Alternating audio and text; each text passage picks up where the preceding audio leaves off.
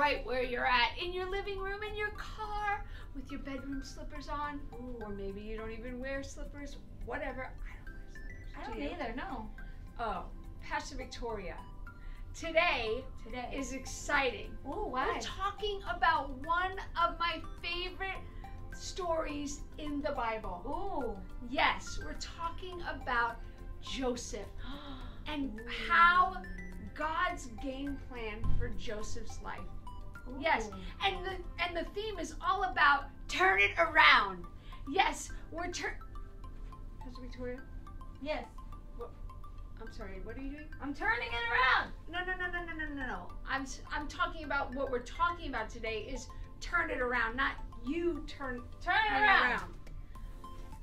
Anyway, I don't know what's wrong with her today, but uh, Pastor Victoria, we are talking all about how God has the incredible ability to turn situations around in our life Ooh. that were meant for evil or bad and turn them around for our good. Oh. And we are oh. going to see that all in the life of Joseph today. That makes sense. It makes sense, right? Like we don't have to do this kind of stuff. We're not talking about all that kind of weird stuff. Okay. We're talking about turning it around and how God can do that in our life.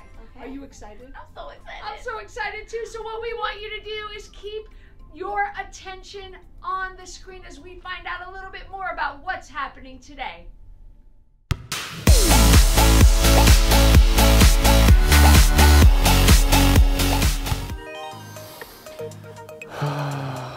Come on, come on, come on, come on, come on. Oh, hey, you're just in time. I'm waiting on a phone call from my coach. We had makeup tryouts yesterday, and I feel like I did pretty good. After all, I After all, you have an excellent trainer, if I do say so myself. yeah, Tony, I was just about to say that. I have an excellent trainer. And you're following God's game plan for your life. I sure am. I've learned so much on this journey. You sure have, shortstop. It's like my old pal, Potty Skipping, used to say.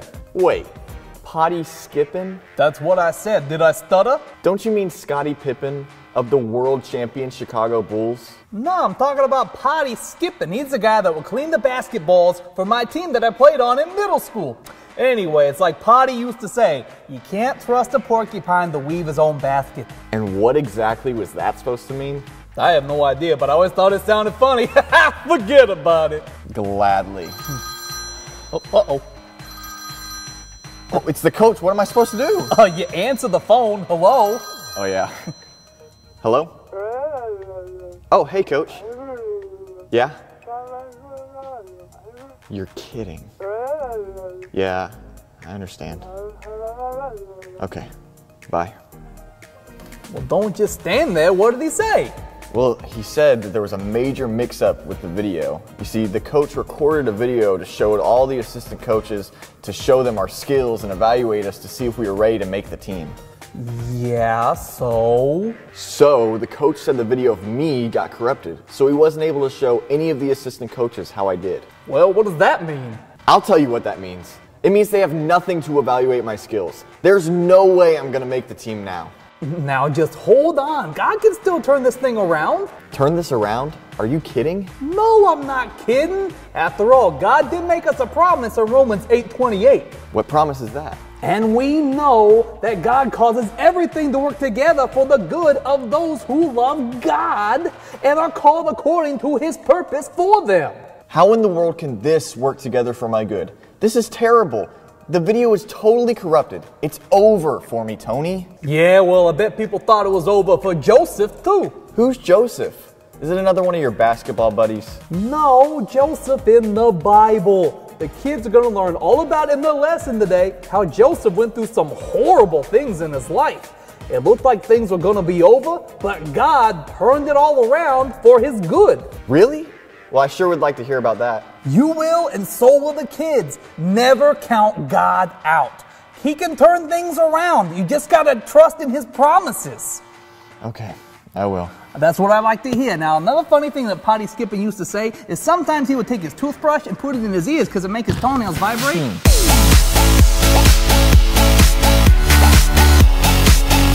Hey boys and girls, Pastor Victoria here. And you know what that intro video reminded me of?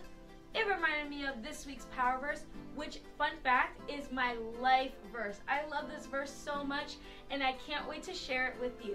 So, what I want you to do is grab your trusty fire Bibles or any Bible in the house and turn to the book of Romans with me. If you don't know where that's at, that's in the New Testament. And we're looking at Romans chapter 8, verse 28. And it says, And we know that God causes everything to work together for the good of those who love God and are called according to his purpose for them. Romans 8 28. Boys and girls, this is something that's really, really important to remember. No matter what you may go through, no matter what you may face, it may be a bad situation or a good situation, but I promise you that God is able to turn it all around for your good. So I'm not going to turn around again, but I want you to go ahead and repeat after me. You ready? On the count of three.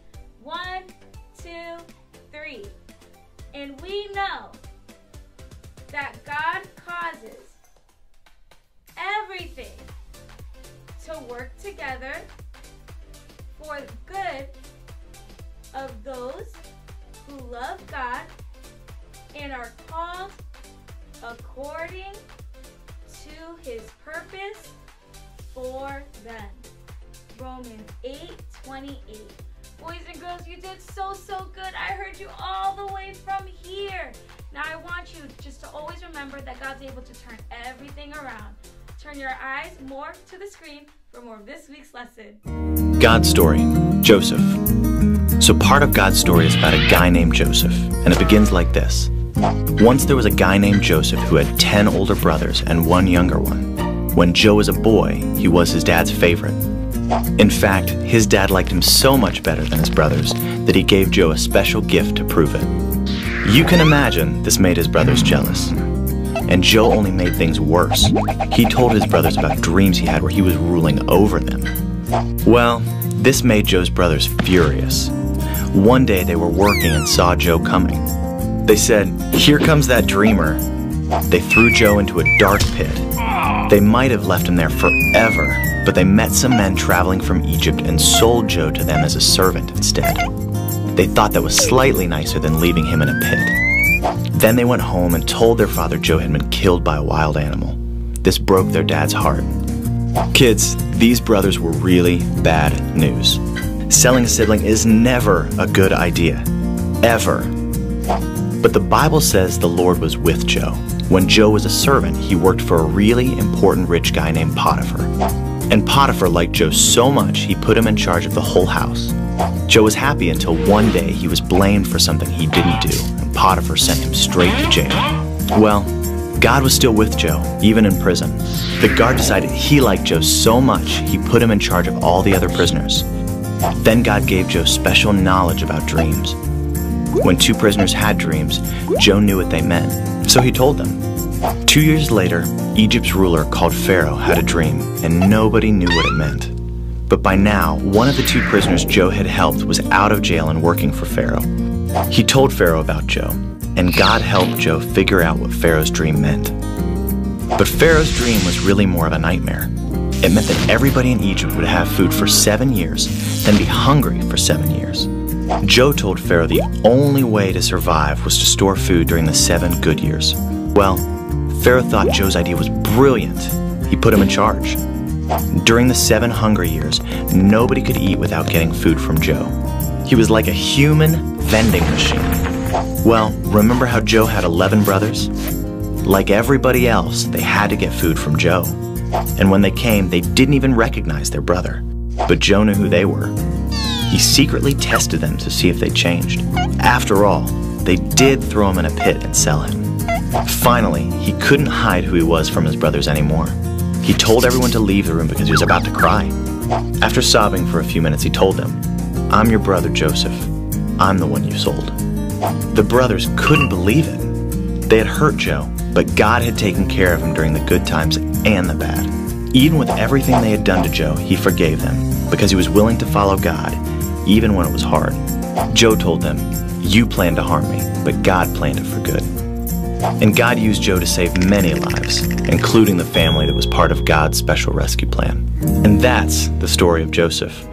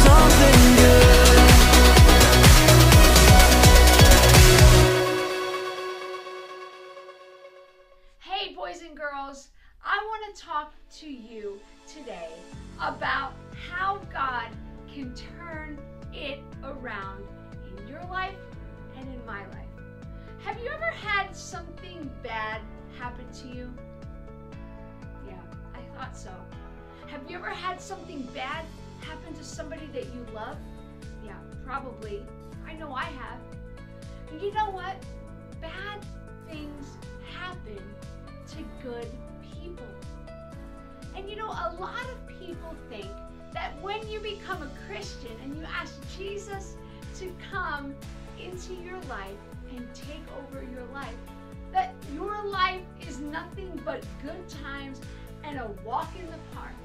But can I tell you, that even when you and I decide to follow Jesus with all our heart, bad things happen. And a lot of people question how could God allow bad things to happen to good people? Well, guess what? This is the same thing that happened in Joseph's life. When you look at Joseph's life, he had a lot of crazy bad things that happened to him, don't you think? Now, I know that you were listening to our Bible story today and you heard all about the things that happened in Joseph's life. Just to name a few bad things, how about, first of all, his own brothers sell him into slavery after they tried to kill him first, okay? That's a bad thing. What else? How about he got accused of doing something wrong that he didn't do and he was put in prison? He was forgotten by the cupbearer and the baker when he was in prison. There were so many things that we can't even begin to talk about all the bad things that happened in Joseph's life. But if you remember from our Bible story, Joseph said to his brothers something incredibly powerful. And he said this He said, You know, what you did to me, you intended it to harm me. But God has used it. Matter of fact, God turned it around and used it for good. So that so many people's lives, including yours, can be saved. And so Joseph understood our very first point. And you know what that is, boys and girls? Our first point, the first thing that I want you to understand today is number one bad things happen. Bad things will happen.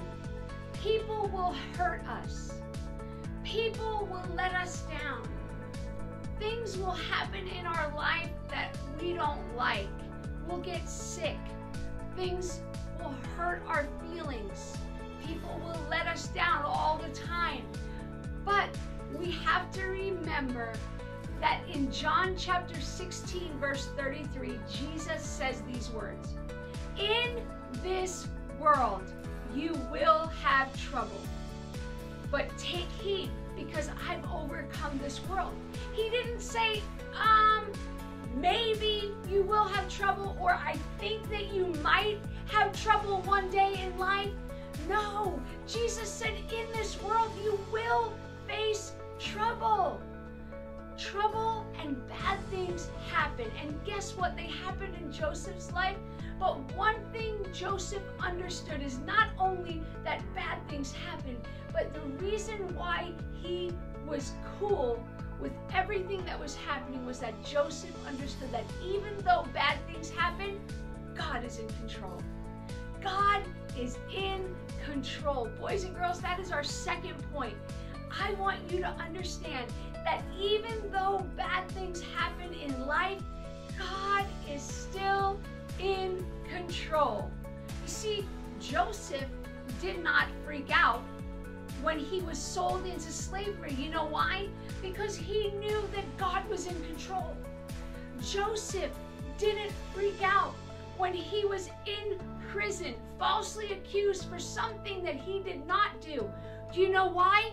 Because he knew that God was in control. Boys and girls, Joseph understood that God was behind the scenes working his game plan out for Joseph's life. Even if in the natural he couldn't see God working behind the scenes, he knew that God was in control, working together to turn everything around for his good. Joseph didn't freak out. He knew that God was in control. You see, boys and girls, if Joseph had never been sold into slavery and thrown into prison, then he would have never been able to interpret the dream for Pharaoh and become the ruler of the land.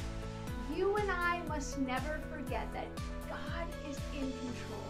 And because God is in control, boys and girls, God can take the bad that happens in our life and use it for good.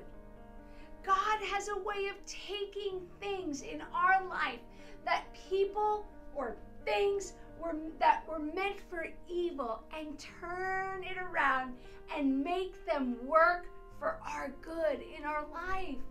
Guess what? That was our power verse. He has the ability to take what was evil, something that was not good, and turn. My God. You see, boys and girls, we have to remember that God can take the bad and use it for good.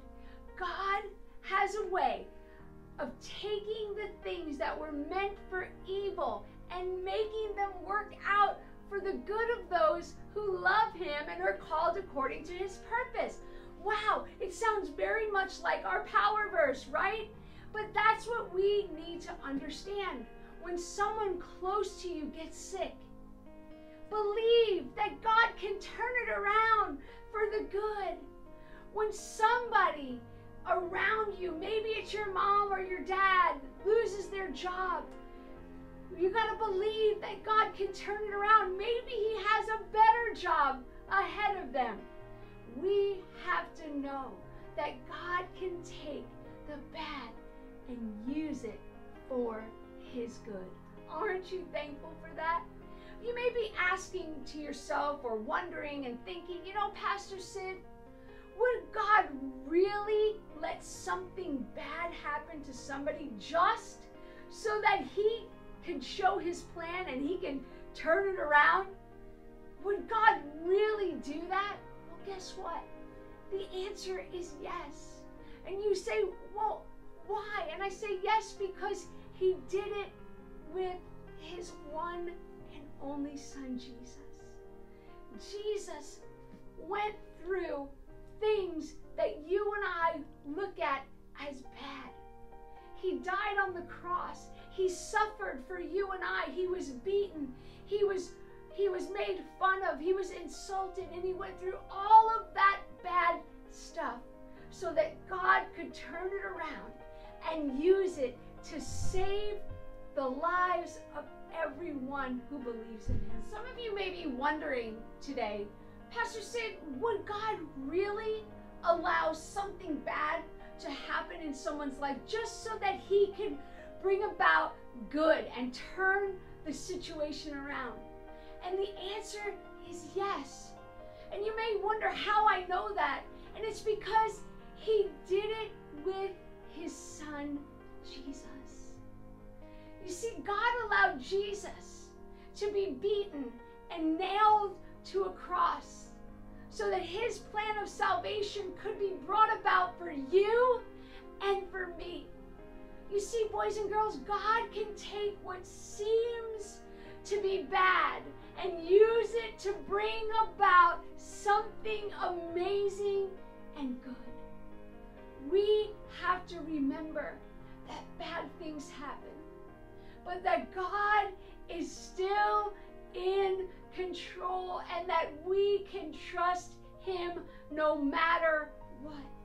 We can trust Him no matter what because He's a great big God and He has a game plan for your life and mine, and He can turn every situation around and use it for good. Amen. Well, I want to take a moment today and I want us to pray together. Because some of you, I know some of your lives and your families are, are walking through some really difficult and hard moments. And some of you may have been listening to me this morning thinking, oh, Pastor Sid, I don't know if I believe all the things you're saying. If if God is so good, why do bad things happen? I want to just let you know. Remember that He's in control and He can turn it around for your good. And so at this moment, I would love it if maybe if you're together with your mom or your dad or your siblings or your grandparents, I'd love for you to gather together. And if you're by yourself, that's awesome too. But I want us to take a moment and I want us to just, as a family or just individually, just to take a moment and pray. So, would you do that right now?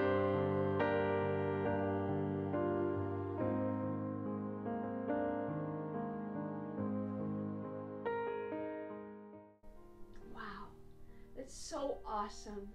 It's so awesome to be reminded that no matter what we face in life, just like Jesus said in John 16 33, that in this world we will have troubles. but that we can take courage, that we can be full of courage because He has already overcome this world. We can be reminded today that He is turning it around for our good. Let's pray. Father, we love you. Jesus, I thank you for your presence. I thank you that in your presence things change. And right now, I pray for every mom and dad and boy and girl, anyone that's listening right now, anybody that's watching. Lord, I pray that they would be reminded that even in those moments when bad things are happening, bad things are all around, that you're still in control. Help us to never forget that you are still in control and that you are working things out for our good. That you can turn things around. That even though they may look bad right now, God, you are working behind the scenes, just like our power verse said. That you are working it out for our good, for those that love God and are called according to his purpose. We thank you today. Help us to be encouraged by your word. In Jesus' name, amen. Whoa! That was so good. That was so good, Pastor so good. Just like how God could take our lives and He could turn it around. Uh, up, turn, Turn it it around. around. Now I understood why you was turning turn it around. Having a That was so good so good. and so timely. Yes. Because guess what? Our whole world is in a in a crazy place. so true. Wondering like what's happening with coronavirus? What's happening with all the injustice in our world? I know. But do you know that today we were reminded that regardless of what bad stuff is happening, Yeah. he could turn it around for our good. For those that love him and are called according to his purpose. So do you love him? And are you called? Yes, you are. So good. And so he's going to work it out. Yeah. Pastor Victoria, why don't you tell us where we're going next week? Ooh, next week. I don't think y'all ready for Yeah, next they week. ready. They, They ready. ready? Next week we are talking about training for God. Training for God. What do you mean? Like we're in the Olympics? We're going to run? I think oh. we're gonna run or maybe go into the army. Could that be it? Oh, it's this. No, No, no, no, no, no, no, no. no. We're talking about when we train a child. Training up a child Yeah. and how that even as being a, a, a Christ follower, that there are things that we have to do to prepare us Yeah. for life. That's right. Just similar to like if you go into the army or if you're in the Olympics and you have to train real hard. I wonder what we're going to be talking about. Well, if you want to find out what we're talking about, we will check you out next week for another edition of Kids Point Live coming right at you. I'm Pastor Sydney, I'm Pastor Victoria. and we'll see you next week. Bye.